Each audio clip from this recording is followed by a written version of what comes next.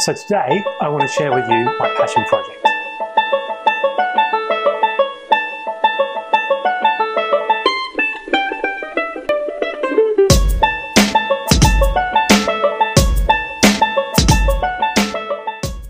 To start with, I'll tell you a little story. When I was about 9 or 10 years old, my brother had a friend called Ben. Now Ben had some dramas at home. He'd started getting into drugs, made some poor decisions. His parents had decided to kick him out. We didn't find out about this until about four or five days later. He'd been sleeping rough that whole time. And when I say rough, I mean he'd been sleeping in the back of a dumpster that had some cardboard boxes. My parents took him in and tried to get some assistance through the government. This proved really difficult, particularly because of Ben's age. Now this was in the UK, so things are slightly different to here, but the context is the same. In the same area, I had some friends whose dad tried to drag them in the car and set them on fire. And another friend whose parents beat him, so he tried to overdose.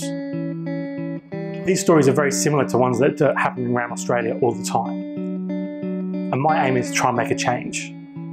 In Australia, 42% of the people that are homeless are under the age of 25. 70% of those left home to avoid violence, physical abuse, and family breakdowns.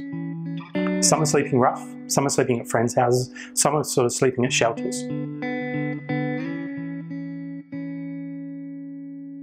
Imagine if we could give these guys some hope. Imagine if we could give them some direction. Imagine if we could share with them the thrill and excitement of owning their own business. My goal, my passion project, is to bring about change through enterprise. The idea is pretty simple. Each disadvantaged youth has their own territory. They own that territory, much like a franchise. They have customers, businesses, who they deliver leaflets on behalf of. They go door to door with these leaflets, delivering them much like any leaflet distribution service. But the difference is, this is something they own. They get assistance from us to look after the customers, the billing, the printing, and the logistics. So all they have to do within their franchise is do the actual distribution. The beauty is they own this franchise. So at the end of their term, they can sell that franchise back within the group and give another disadvantaged youth an opportunity. With the money they earn from that sale, they can go back into further education. They can look at um, buying their first property or deposit on housing. They can really get their life back on track.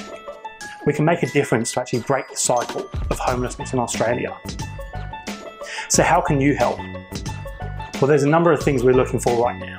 If you're a business and you currently have your leaflets distributed, we'd love to talk to you. Just get in touch with the details down below. If you're somebody that has connections to governments for funding and grants, please get in touch as well.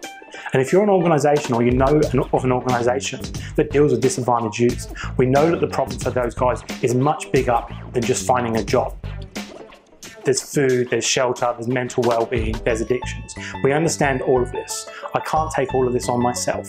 What I'm trying to do is just make a difference to give those guys a brighter future.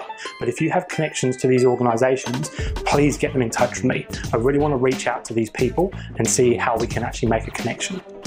I'm going to get this off the ground in 2017, so stay tuned for future episodes on our passion project. Thanks for tuning in, see you next time.